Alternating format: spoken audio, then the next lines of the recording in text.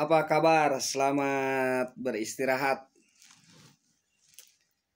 Selamat beristirahat dan semoga sehat selalu serta penuh keberkatan. Amin. Hari Kamis dalam kuasa Jupiter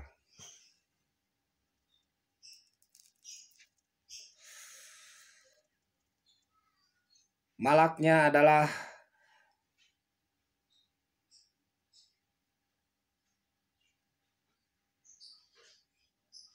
Sorfiail. Malak Sorfiail.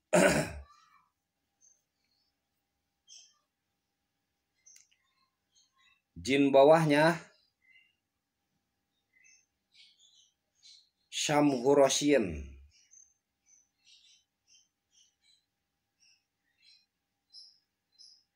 Persamaannya adalah Kamis bersifat angin. Dan memang planet Jupiter ini selain memiliki ukuran yang besar, raja dari planet,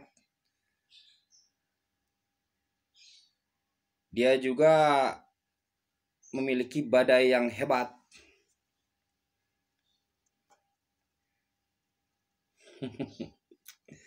Begitu.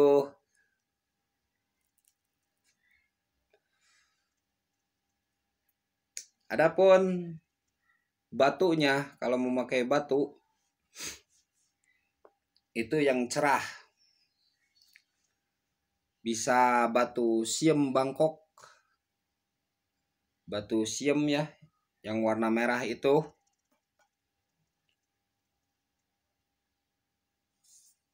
batu akik. Mau akik yang akik Yaman, akik Sulaiman.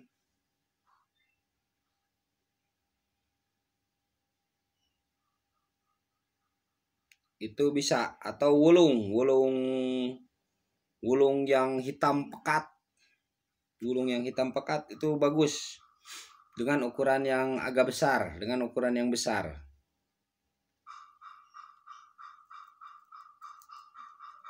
untuk Jupiter atau juga pandan tapi dengan ukuran panjang pandan merah itu batu pandan merah.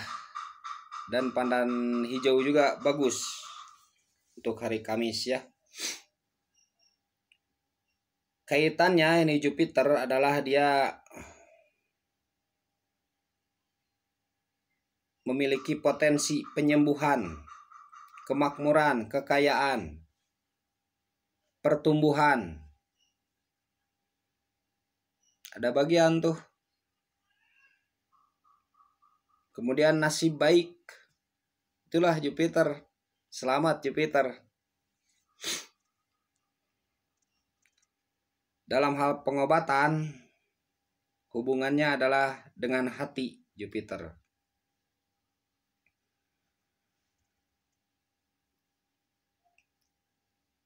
Angkanya untuk Kamis adalah 8.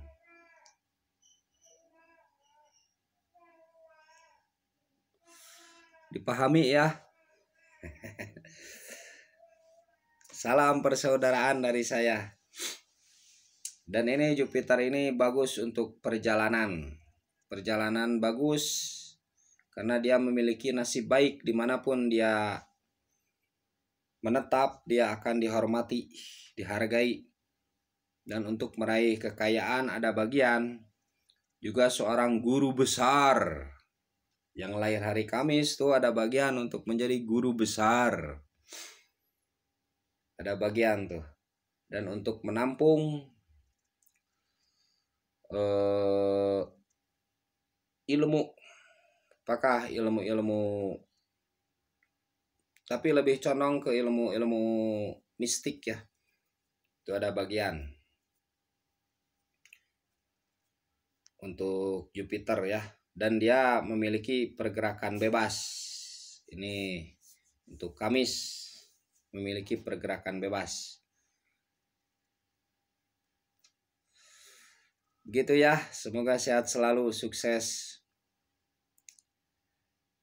Jupiter keberuntungan, semoga Anda semua terberkati dan berada dalam keberuntungan. Amin.